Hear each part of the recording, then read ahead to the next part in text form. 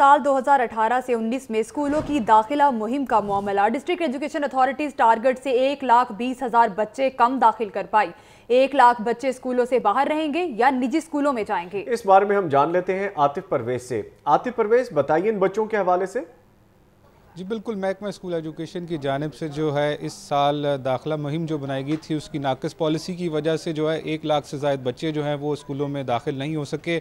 جو جیسے ہی سال شروع ہوا، تو محکمہ اسکول ایجوکیشن کی جانب سے جو ہے، دو ہزار اٹھارہ اور انیس کے لیے کوئی تیرہ لاکھ کے قریب جو ہے، بچوں کے داخلے کا ٹارگٹ رکھا گیا تھا۔ لیکن جو اب رپورٹ سامنے آئی ہے، اس میں انکشاف ہوا ہے کہ گیارہ لاکھ اور پچانوے ہزار کے قریب ہی جو ہیں، بچے جو ہے اسکولوں میں داخل ہو سکے ہیں۔ تو اس طرح جو ہے، ایک لاکھ سے زائد بچے جو ہیں، وہ اس دفعہ سرکاری اسکولوں میں نہیں آئیں گے اور جو ہے اور وہ نجی اسکولوں میں رہیں گے یا اسکولوں سے باہر رہیں گے۔ اس حوالے سے اساتذہ کا کہنا ہے کہ جو محکمہ اسکول ایجوکیشن نے داخلوں کے حوالے سے پالیسی بنائی تھی، وہ ناقص تھی۔ اس وجہ سے جو ہے وہ بچے اسکولوں میں نہیں آئے۔ ان کا کہنا تھا کہ اسکولوں میں جو اسکولوں بچوں کو اسکولوں میں لانے کی ذمہ داری جو ہے وہ اساتذہ پر رکھی گئی تھی۔ اساتذہ جو ہے وہ اسکول میں پہلے بچوں کو پڑھاتے تھے اور اس کے بعد جو ہے ان پر ذمہ داری تھی کہ وہ جو بچے اسکولوں سے باہر ہیں ان کو داخلہ لائیں۔ تو یہ جو دوری ذمہ داری تھی اس کی وجہ سے داخلہ مہم جو ہے متاثر ہوئی۔ دوسری طرف محکمہ اسکول ایجوکیشن کا کہنا ہے کہ جن کی کوتاہی ہوگی، اس کے خلاف جو ہے اس بار جو ایکشن بھی ہوگا اور اس حوالے سے جو ڈیٹا سامنے آیا ہے، اس کی بنیاد پر